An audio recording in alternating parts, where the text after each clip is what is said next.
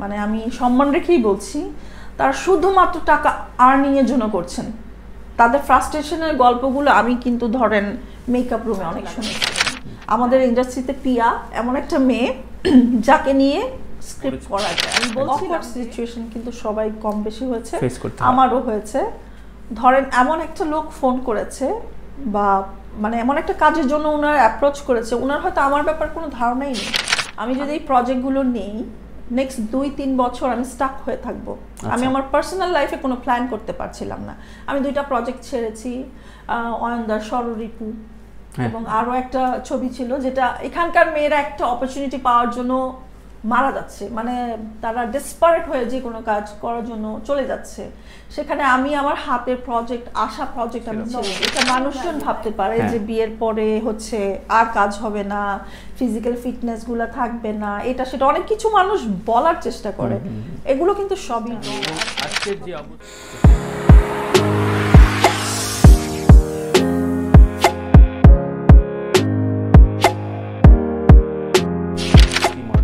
প্রিয় দর্শক রুহি রুহি আমার গেস্ট রুহি আমার নাম তানভি তারেক।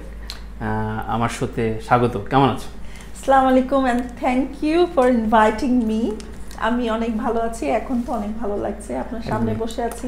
লাস্ট face বোধ হয় আমরা একটা ভার্চুয়াল আলাপে ছিলাম একটা হ্যাঁ। কোভিড টাইমে হ্যাঁ। সেই কোভিড দিয়ে একটু শুরু করি। কোভিড সিচুয়েশনে রুহির উপলব্ধিটা কি ছিল? জীবনটা আসলে এত সুন্দর আমাদের জীবনটা।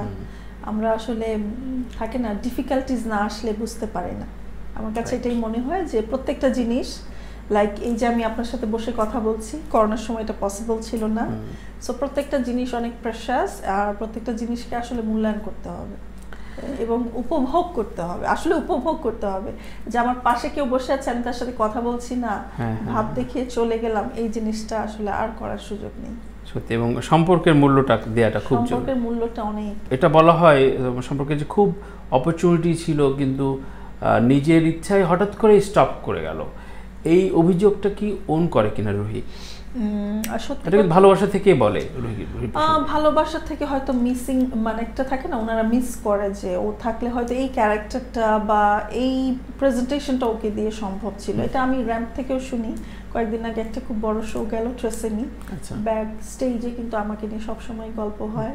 আমার অভাবটা অনুভব করে। সো ডিরেক্টর ক্ষেত্রেও তাই। ওনাদের সাথে মাঝে মাঝে আমার মেসেজে কথা হয়। তো ওনারা খুব বলেন মাঝে মাঝে আমরা কিন্তু তোমার উপর অনেক রাগ। কেন রাগ?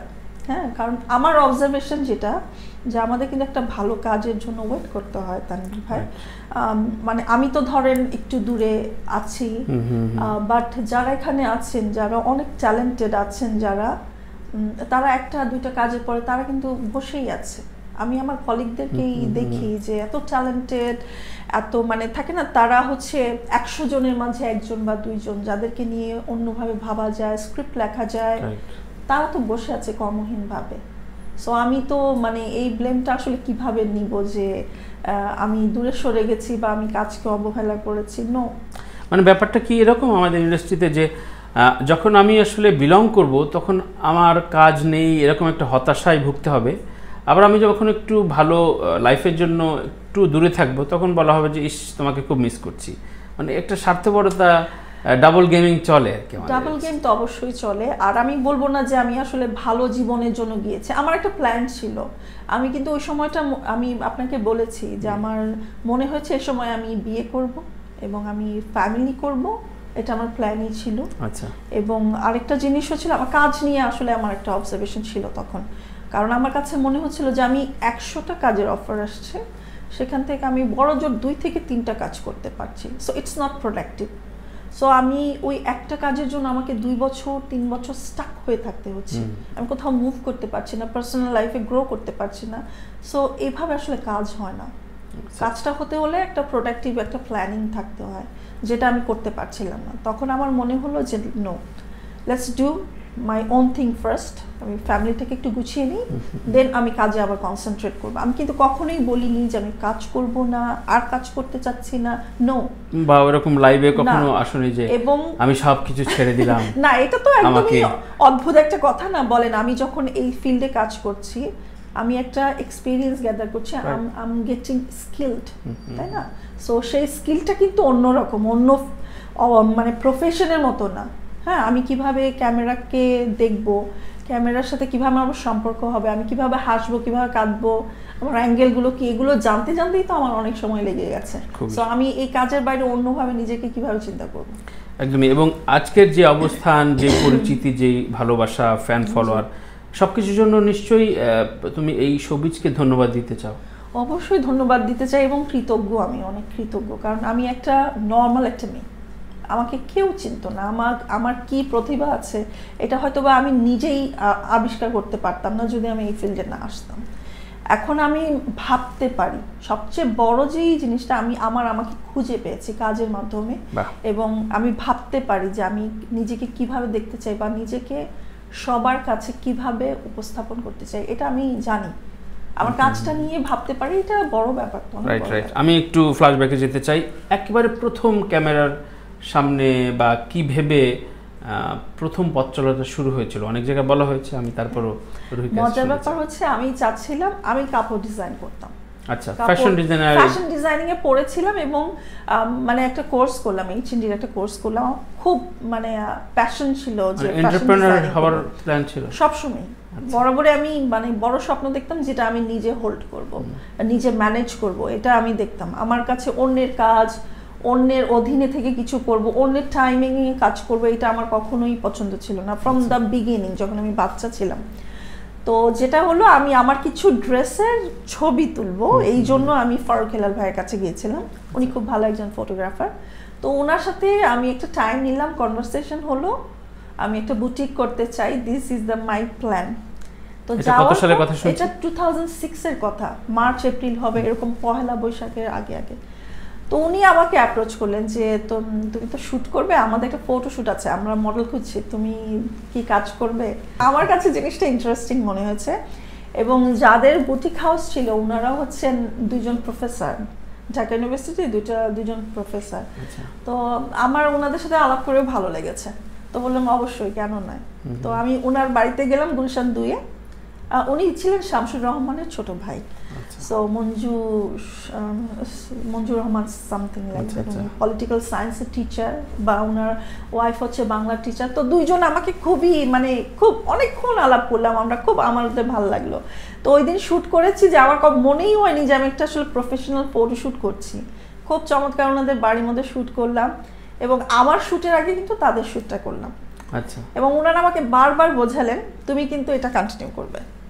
তুমি খুব আমাদের খুব ভালো লেগেছে। আমরা তো আরও কাজ করি বাট মানে তোমাকে আমাদের খুব ভালো আচ্ছা, লেগেছে। তুমি অনেক ভালো করবে দিস দ্যাট দ্যাট তো অনেক গিফট টিপ দিলেন আমাকে। আমার কাছে খুব ভালো লাগল। তো এরপরে র্যাম্প বা অভিনয়ের প্ল্যান তখনও ছিল না আসলে কিছুই প্ল্যান ছিল না। আমার ইচ্ছে ছিল যে আমি একটা আমার নিজের নামে বা নিজের একটা কনসেপ্টে বুটিক হাউস করব ফ্যাশন লাইন আপ করব লাইন করব লেভেল করব। এটাই ছিল প্ল্যান এবং আচ্ছা। এখনও আমি কিন্তু এটা নিয়ে কাজ করছি। আমি এটা কিন্তু ছাড়িনি। এটা আমার একটা আচ্ছা। স্বপ্ন। এবং আমি কিন্তু সবসময় বলেছি যে আমি আমার যে ড্রেস পরি নিজস্ব নিজস্ব যে স্টাইল স্টেটমেন্ট এটা আমি নিজে তৈরি করি। সো ওই দিনের কনভারসেশন এই যে লোকজনদের আবহ সবকিছু আমার খুব ভালো লেগেছে। আচ্ছা আচ্ছা আচ্ছা। তারপরে আমি বললাম যে না ঠিক আছে আমি কাজটা করব কন্টিনিউ করব। এবং তারপরে ফারুক হেলাল ভাই নিজেই আমাকে এন্দাদ ভাইয়ের সাথে ইন্ট্রোডাকশন মানে ইন্ট্রোডিউস করালেন। ওনার আমি প্রচুর কাজ করেছি এবং উনি আমাকে অনেক জায়গায় রেফারেন্স করেছে। সো আমার শুরুটা না খুব চমৎকার ভাবে হয়েছে মানে সবাই নিজে থেকে আমাকে খুব আন্তরিকতার সাথে ডেকে কাজ দিয়েছেন। অফেয়ারে খুব দারুণ কথা বলছে যে একটা গার্জিয়ানশিপ আসলে তখন আমাদের ফ্যামিলি এই বিলং করতো যে সবাই যার যার জায়গা থেকে সম্মানের জায়গা রাখব। তো আমরা অনেক মিটু অনেক রকম কথা শুনি। তো নিজের এই ক্যারিয়ারে এন্টার ক্যারিয়ারে কি কোনো ধরনের অকওয়ার্ড সিচুয়েশনে পড়া হয়ে পড়েছো কিনা? অকওয়ার্ড সিচুয়েশন কিন্তু সবাই কম বেশি হয়েছে হয়? আমারও হয়েছে। ধরেন এমন একটা লোক ফোন করেছে বা মানে এমন একটা কাজের জন্য ওনার অ্যাপ্রোচ করেছে ওনার হয়তো আমার ব্যাপার কোনো ধারণাই নেই। আমি কোন ফ্যামিলি থেকে এসেছি বা আমি কি ধরন as a person how I am আর বা আমাকে সবাই কীভাবে ট্রিট করে? এটার ব্যাপারে তার কোনো হয়তো ধারণাই নেই। সে আমাকে ফোন করেছে কোনো একটা কাজের জন্য হয়তো। এমন একটা কথা বলেছে যে আমি থান্ডার কি বলছে আমাকে? হ্যাঁ তখন হয়তো বলেছে আপনি কি শিওর আমার ব্যাপারে আপনার কোনো একটা ইনফরমেশন বা একটা রিসার্চ করেছেন? আমাকে ফোন করেছেন? ঠিক আছে আপনি একটু আমার ব্যাপারে খবর নেন তারপরে আমাকে ফোন করেন। দেখা যাচ্ছে ওই লোকটা হয়তো দ্বিতীয়বার আমাকে ফোন করেনি বা কখনো ফোন করেছে হয়তো আমার কাছ থেকে খুব কঠিন একটা উত্তর পেয়েছে। তো আমার যেটা ভালো ছিল আমি অনেক সুন্দরভাবে না বলতে পারতাম বা কঠিন কথা বলতে পারতাম। এটা নিয়ে কিন্তু সবার মধ্যে একটা আমার ব্যাপারে একটা ধারণা আছে যে ও তো খুব মোডি খুব নাকুচা এটা সেটা অনেক কিছু। But I am like that আমি সবসময় এমনই ছিলাম। দারুণ। এবং স্বাধীন চেতাই এই মনোভাবটা আমি আমাদের ইন্ডাস্ট্রিতে সবচেয়ে বেশি দেখি যারা র্যাম্প মডেলিং ক্যারিয়ার থেকে এসছে। কারণ সেলফ একটা গ্রুমিং হয়। যেমন রুহি আছে পিয়া আছে আরিন আছে এরকম বেশ কয়েকজন আমাদের কাজ করছে।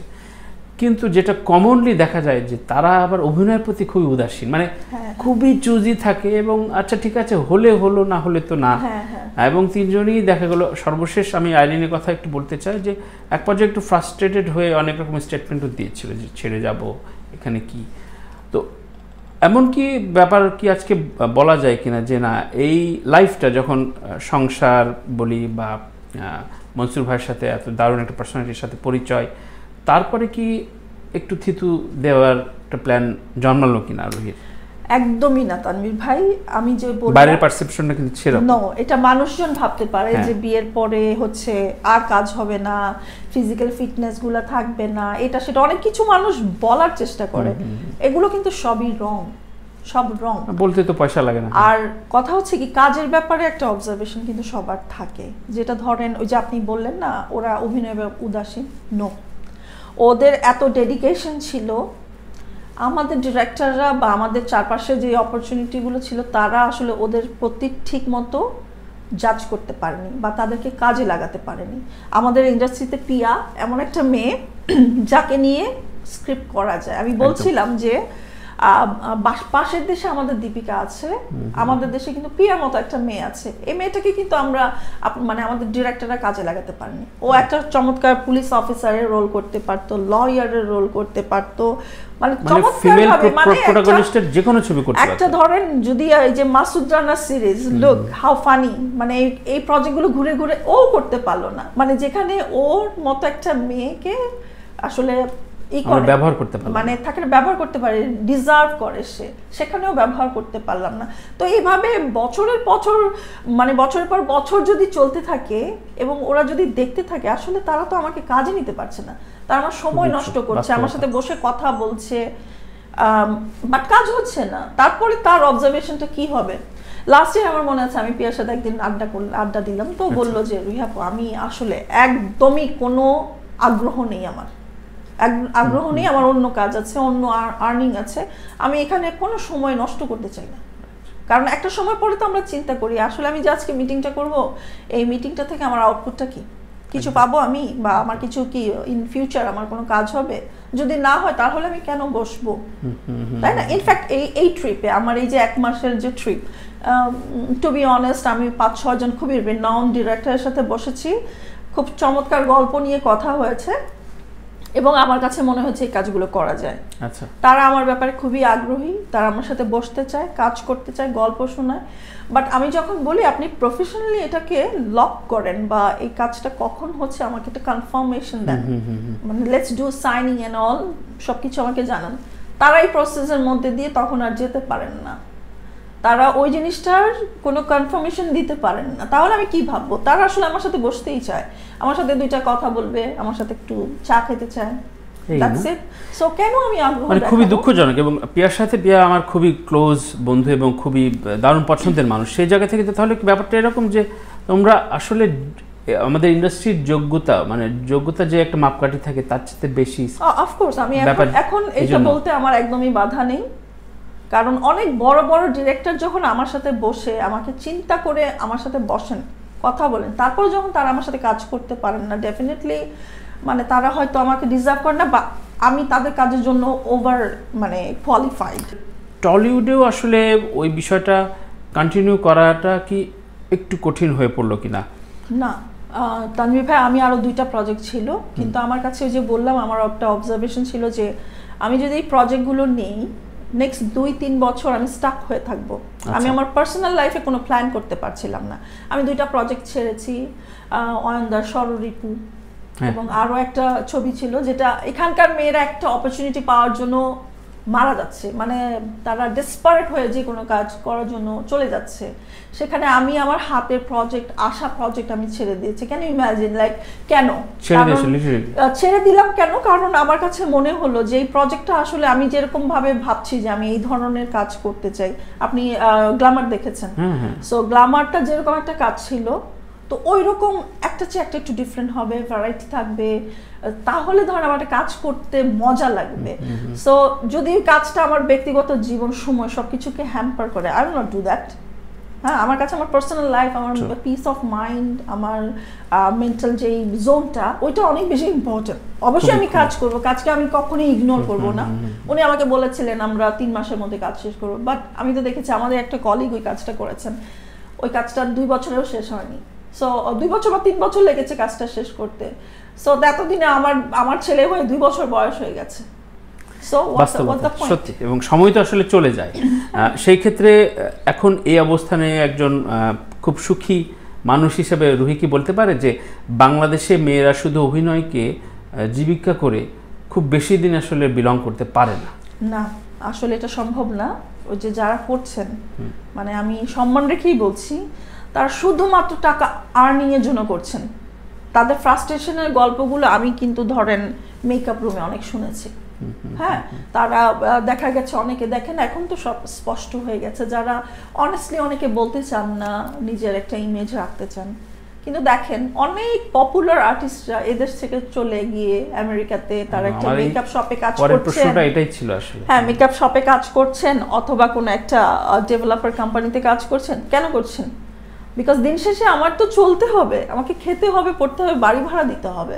সো আমি আমার একটা ইমেজ রাখলাম আমাকে আমি অ্যাক্ট্রেস বাট দিন শেষে আমার শেষে আমার কোনো আর্নিং নাই আমাকে কে চালাবে? ট্রু এবং লাইফস্টাইলেরও তো একটা বিলঙ্গিং আছে। আমি আপনার কাছে আজকে এসেছি আমার গাড়ি ভাড়া আছে আমি একটা প্রেজেন্টেবল ড্রেস পরবো একটা শুজ পরবো আমার একটা মেকআপ হবে একটা আমার একটা প্রপার একটা অ্যারেঞ্জমেন্ট দরকার আছে তো। সো এটা আমাকে কে দিচ্ছে? ভেরি ট্রু ভেরি ট্রু এর পাশাপাশি যখন লন্ডনে চলে গেল রুহি। তখন আসলে ব্যাপারটা বলাই হলো যে না রুহি এখন আসলে ধনী নায়িকাদের ভেতরে একজন। হ্যাঁ, খুব ধনী নায়িকা খুবই ব্রেড অ্যান্ড বাটারের জন্য। এবং এই যে বিষয়গুলো যে আমরা একটা ট্যাবু লাগাই দিই কোনো কাজের এবং এগুলো কিন্তু ইন্ডাস্ট্রির লোকজনই বলে ঠিক আছে? ওকে নিয়ে আসলে ওই যে বললাম আফসোস করে থাকলে তো থাকার সময় হয়তো ডাকে না। তো লাইফটা কেমন আসলে রুহির? আম, আমি আপনাকে- প্রথমে যে কথাটা বলেছি যে আমি জানি যে আমার এখন এই আগামী তিন বছরের জন্য আমার প্ল্যান হচ্ছে আমার বাচ্চাদেরকে নিয়ে বা এটা। সো আমার ইচ্ছে ছিল আমি ব্যাক টু ব্যাক দুটো বেবি নেব সেটা দুই বছর লাগবে তিন বছর আমি আই উইল একদম ফ্যামিলি প্ল্যান একদম ফ্যামিলি প্ল্যানিং জাস্ট সোজা কথা ফ্যামিলি প্ল্যানিং এবং যেটা মনে হয়েছে যে বাচ্চা হওয়ার পর আমি জাস্ট কাজে চলে আসব। বাট রিয়েল লাইফ যেটা হয় বাচ্চার সাথে থাকতে ইচ্ছে করে বাচ্চার সাথে সময় কাটাতে ইচ্ছে করে। এবং মজার জিনিস হচ্ছে মানে আমি কাজও করেছি। আমার ছেলেটা যখন এক বছর দেড় বছর বয়স যখন ঢাকা এসেছি আমি কাজ করেছি। আমিন ভাইয়ের সাথে টেলিফোনটা করলাম। সো আরও কিছু কাজ করেছি। But I was not feeling good আচ্ছা আচ্ছা। কেন? কারণ ওকে বাসায় রেখে আসছি সারাদিন ফোনে দেখ- ও খেয়েছে ও ই করছে। আমার ইচ্ছে করতে ওকে আমি কোলে নিয়ে বসে থাকব ওকে নিয়ে ঘুরতে যাব। সত্যি মাতৃত্বে মাতৃত্বে তো একটা অদ্ভুত আনন্দ মাতৃত্বর যে আনন্দটা না এই আনন্দটা আমি আসলে উপভোগ করতে চেয়েছি। আমার আপনি দেখবেন আমার ফেসবুকে যেহেতু আপনি আছেন প্রচুর ছবি ওর সাথে প্রচুর ভিডিও মজার ভিডিও কারণ এই বয়সে ওরা এত মজার মজার জিনিস করে না। তারপরে যখন স্কুলে চলে যায় এভরিথিং মানে সব কিছু সর্ট আউট স্যাটেল সো আমি যেহেতু ব্যাক টু ব্যাক দুইটা বেবি নিয়েছি আমার ওই দুই বছর তিন বছরের প্ল্যানিংটা একটু লম্বা হয়ে গেছে। এবং আম ওকে উইথ দ্যাট কারণ কি আমি আমার বাচ্চারা আমার মতো করে কথা শিখবে আমার মতো হবে এই জন্য আমাকে কিন্তু ওদেরকে সময় দিতে হবে। আমি একটা ছোট্ট মজার গল্প বলি আপনাকে তাহলে আপনি বুঝতে পারবেন। আমার একটা ফ্রেন্ড ও হচ্ছে মানে আমার ক্লাসমেট স্কুলমেট ও হচ্ছে ডক্টর মানে খুব বড় একটা রিনাউন্ড হসপিটালে সে খুব রিনাউন্ড একটা পোস্টে আছে। আচ্ছা। তো ও আমরা সেম টাইমে আমাদের বেবি হয়েছে। তারপর যেটা হলো ও তিন মাস চার মাস পরে আমাদের কথা হতো তিন চার মাস পরে আমি বললাম কি অবস্থা তোমার? কেমন আছো? আমি তো জব জয়েন করে ফেলেছি। আমি তো জয়েন করে ফেলেছি। সে কি ভালো দেখো আমি তো ভাবতেই পারছি না। আমার কাছে মনে হয় আমার আমার মনে হয় এক দেড় বছর আমি মনে হয় না কাজে ঢুকতে পারব। তো গেল এই কনভারসেশন গেল। তিন চার বছর পরে যখন আমাদের দেখা হয়েছে তখন আমার বাচ্চা অলরেডি স্কুলে গেছে আর ওর একটা নিজের মতো একটা স্টাইল অফ মানে টকিং স্টাইল হয়েছে একটা মানে আমি যেরকম পার্সোনালিটি আমার এই পার্সোনালিটি ওর মধ্যেও কিছুটা গ্রো করেছে হ্যাঁ? আচ্ছা।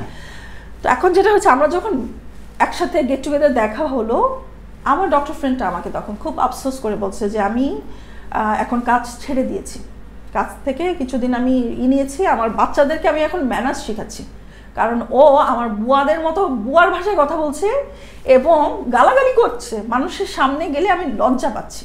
সো আমি এখন চাকরিটা ছেড়েছি এখন আমার বড় দায়িত্ব হচ্ছে বাচ্চাদেরকে ম্যানেজ শেখানো। সময়ের কাজটা সময় করেন। সো এখন দেখেন আমি কিন্তু এই জায়গায় আমি বলব আমি সুখী আমি এটা সেটা নো আমি আমার দায়িত্বটা ঠিক মতো পালন করতে পেরেছি বা আমার সময়টাকে আমি ঠিক মতো দিতে পেরেছি। দারুণ দারুণ দারুণ। এই ক্লিপিংসটা আমি অনেককে দেবো এবং দেবার চেষ্টা করব।